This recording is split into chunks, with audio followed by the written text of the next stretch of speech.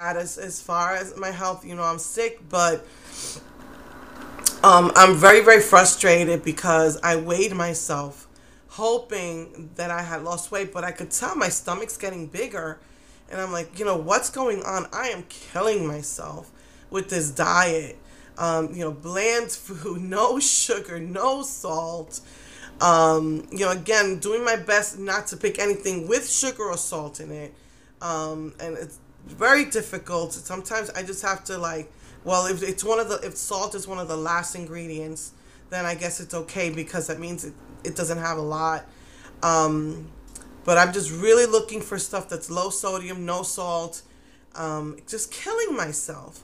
But and I notice my stomach is getting bigger. I'm like, what the heck? And I weighed myself and I gained four pounds. So I am so frustrated about that. Um, I don't know what to do. I was reading in the book that if you can't lose weight in the diet, um, the diabetes book, then you really, really should have do the gastro whatever, where you cut your intestines, gastro bypass. Um, I really don't want to do that. I'm the type of person that if there's a side effect, I'm gonna get it.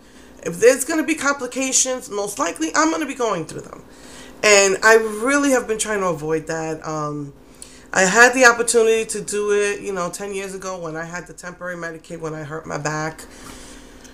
But I did not pursue it. And my doctor really, really at the time was against it because her, um, uh, her receptionist did it and died within six months. But that's because her receptionist wasn't following the diet. You know, so, and those surgeries are not the end all be all because um, women still gain weight they first of all, I haven't seen women lose all the weight. Uh, women that I've seen have it have not lost all the weight. They're still chubby, and um, and you can gain the weight back. Um, so um, it's not the end all be all. And um, I know I I always knew that I was a prime candidate for that. Right now, a lot of insurances have cut Medicaid cut out doing it unless it's absolutely medically necessary life endangering. And in my case for diabetics yes i would be i would probably get accepted.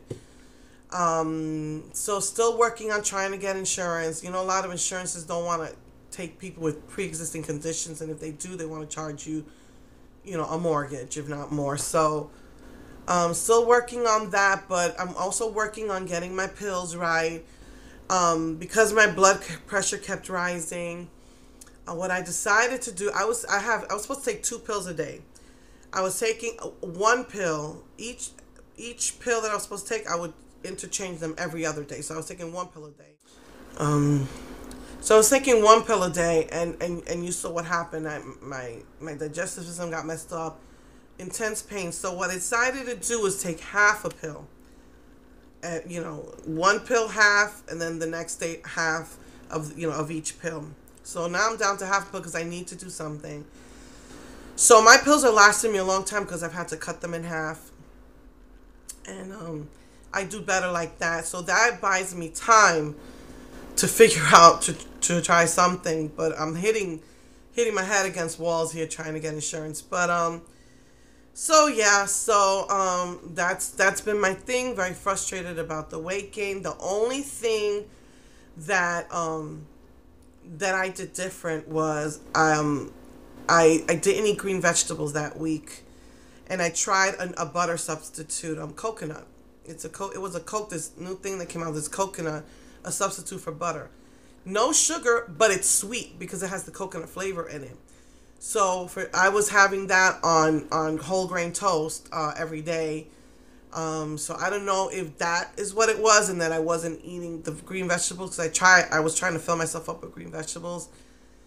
So I don't know if it's that. I haven't gotten into an exercise routine. I, I've just, you know, even though I finished homeschooling, I, you know, still have a lot of things that I've let go that need to be taken care of, and getting sick just puts me more behind. Um, so, um, I'm really, you know, just want to get that out of my way because I'm the type of person that if I go out and I come back, nothing's going to get done. And if I do the stuff I need to do, I'm shot by the end of the day. Ever since that accident, I can't multitask. My brain hurts after a while.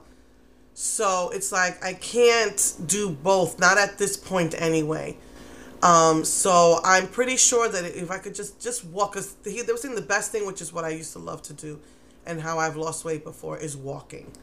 I love to walk, and um, I can't do that with the pains that I've been experiencing. But I felt I feel like maybe I could gradually work myself up to walking again. But like I said, if I go out, let's say first thing in the morning and come back, I will not have any energy, not even mental energy, to do the stuff that I paperwork that needs to get done. I feel like it's just endless paperwork since I moved here. Um, and if I do all the paperwork first, I'm shot, I'm exhausted, and I just want to rest. Um, so yeah, um, so that's up with that. And uh, so I will see you next week with Carnival. Mwah.